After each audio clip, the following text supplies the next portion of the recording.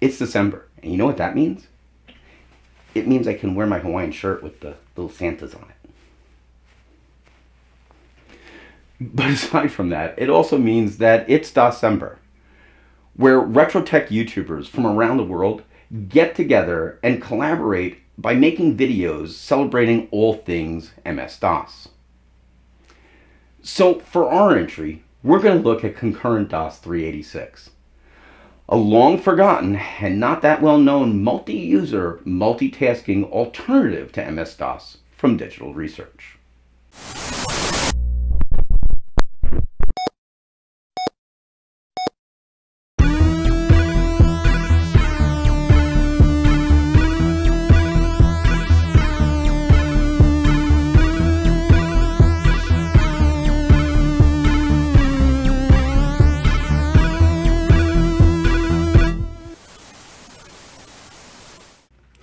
Hello and welcome to Operation 8-Bit. I'm your host Tony Landy, and over there behind the camera, it, we have my faithful sidekick Sparky, making sarcastic comments. For those of you who are new to our channel, keep an eye out for those. They pop up from time to time during the video, and they look like this. I don't know, I was trying to be funny.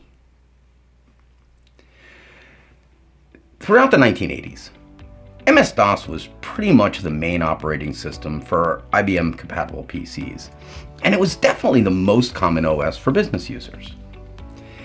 There was a huge library of software available for the platform, ranging from word processors to spreadsheets to databases, that made businesses of all sizes more efficient.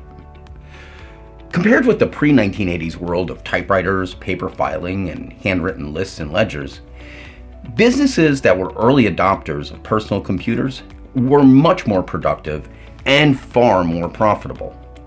Obviously, it didn't take that long for everyone to realize that the more PCs they could put in the hands of their employees, the more competitive and profitable their businesses could become.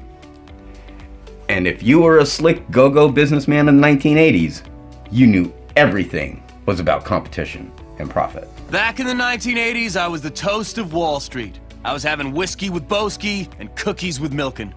As computers in the office became more ubiquitous, the need to share information between users became more prevalent, and there was a growing desire among end users to be able to run more than one application at a time. Now, in today's world, it's hard to imagine not being able to multitask on a dozen different things at once. At any given time, we have a web browser open with a half a dozen tabs, a spreadsheet or two crunching numbers, a few different Word documents that we're actively editing, and all of this while we're answering emails and streaming YouTube videos.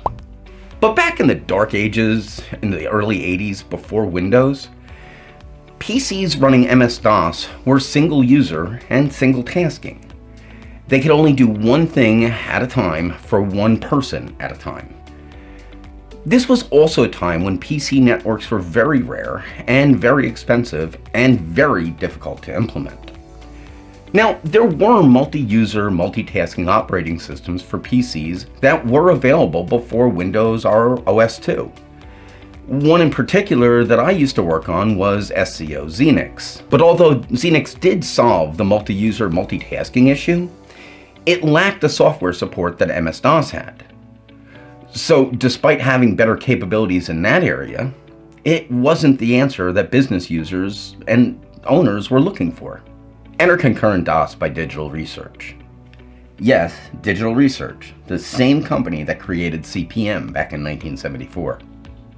First released as Concurrent PC DOS in 1984, this MS-DOS compatible operating system could run up to four programs at once and could even support a second user by attaching a low-cost dumb terminal to the PC's serial port. Now, the first release had a few problems, and it wasn't perfectly DOS compatible. And of course, it had its detractors. In the June 1984 issue of PC Mag, Peter Norton stated that he thought multi-user and multitasking were more than PCs were meant to handle. He even went on to say, it's like turning a passenger car into a dump truck. Despite its initial shortcomings, The OS showed promise, and digital research followed up over the next few years with new versions that were built to take advantage of the more powerful CPUs that were coming out around the same time. In my opinion, the best of these was Concurrent DOS 386, released in 1987 which, as the name implies, was designed to run on PCs with the Intel 80386 processor. This version really took advantage of the 386's virtualization capabilities, which allowed it to run most DOS applications natively, even on dumb terminals. Digital Research claimed that it could support up to 20 simultaneous users, each running four applications without any impact to performance.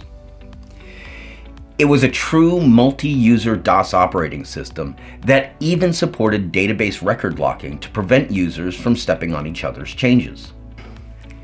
Okay, with the history lesson out of the way, let's dive in and get a closer look at concurrent DOS 386 in action. Now, our original plan was to try to get this thing running on bare metal. But we ran into a ton of problems, and at the end of the day, we just couldn't get it to work on any of the hardware we have. We'll touch on some of that here, and for the fun of it, we're planning on doing a Nibbles and Bytes episode that walks through the issues that we ran into and how we got around most of them. Now, before we get started, just a reminder that if you haven't done so already, please take a moment and click that subscribe button and hit the bell icon. For this show and tell, we're going to use PCem emulating a 386DX. I've got this one set up with 4 gigs of memory, a VGA card, and a beefy 300 megabyte hard drive. Getting the installation software on a bootable floppy was a huge pain in the ass. And this is part of the problems that I was mentioning a minute ago that we're going to cover in that other episode. Suffice to say, once we finally got those issues resolved, the install process itself was pretty straightforward. From this boot screen, you start the install by pressing F10, and since our VHD wasn't partitioned, I jumped over to FDisk to get it configured.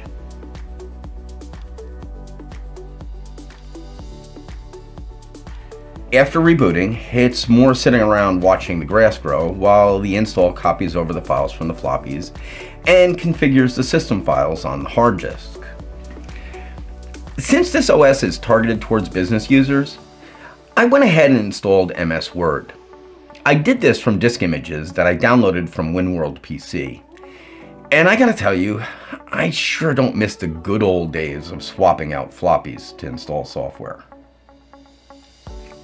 Since business users like to have a little fun when the boss is away as well, I went ahead and decided to load a few games. For this, I just used WinImage to open up the hard disk and then copied the folders over directly, which was a lot faster. So with everything set up, let's take a closer look at what we have going on.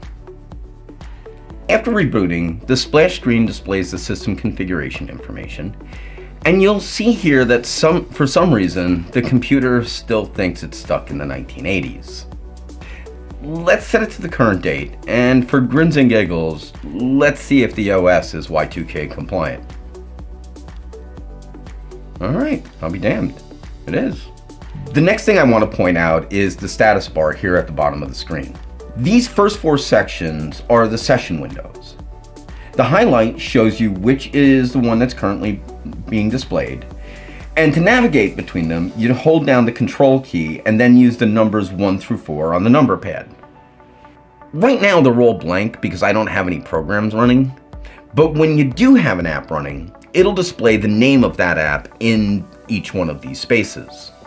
Next to that, we have our station indicator. Since we're at the main computer, this is set to zero. If we were on a terminal, this would show the number assigned to that device. And over here on the far right, we have the numlock and cap lock indicators right next to the current time. From the command line, concurrent is pretty much on par with MS-DOS 3. Although there are some commands that are slightly different. The user manual lists all of these out and shows how normal DOS commands map to concurrent commands. Concurrent also has some additional commands that DOS doesn't. And these are mainly to support the multi-user multitasking operations. The manual explains these in decent detail, and most of them have help text that you can display by using the H switch. The OS even nicely supports piping and output redirection. Now, one thing I do like is that it does have the ability to do the up and down arrow keys to cycle through the recently run commands that you've entered. But that actual list can be persisted into other session windows. So yeah, at the end of the day, basically it's MS-DOS with a few extra steps. Obviously, the big difference, at least in theory, is the fact that this is a multitasking OS. So let's put that to the test by firing up a few programs. I'm going to start up MS Word in the first window and Zork in the second.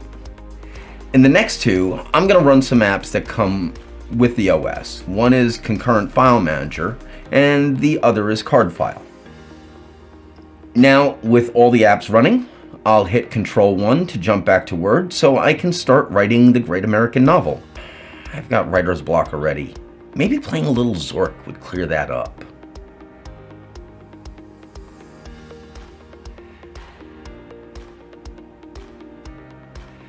Damn, I always forget not to grab everything too early.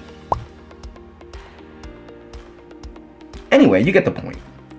Concurrent handles the multitasking thing pretty well. And over here in the File Manager app, we can even see what programs are running and how much memory each one of them is using.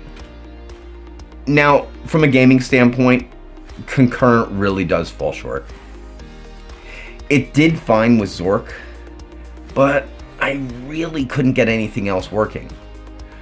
Doom wouldn't even load, and this Tetris knockoff just froze.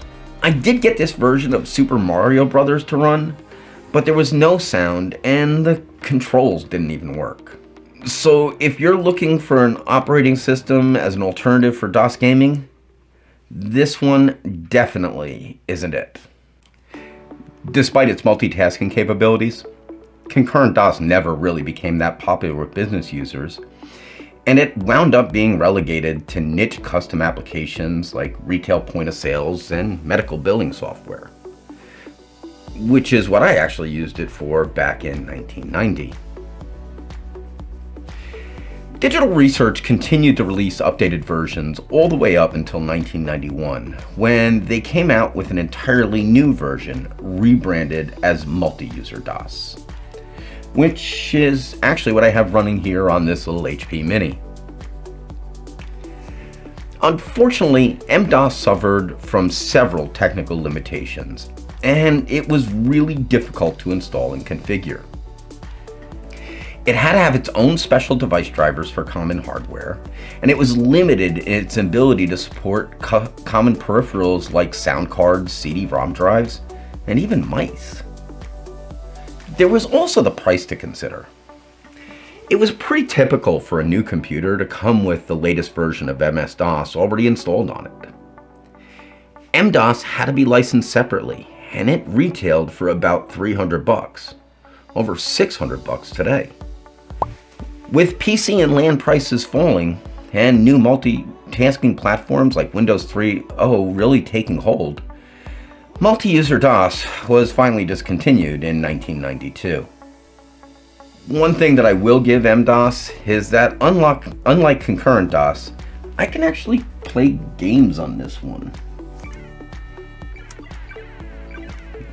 Even, even plays music to the speaker.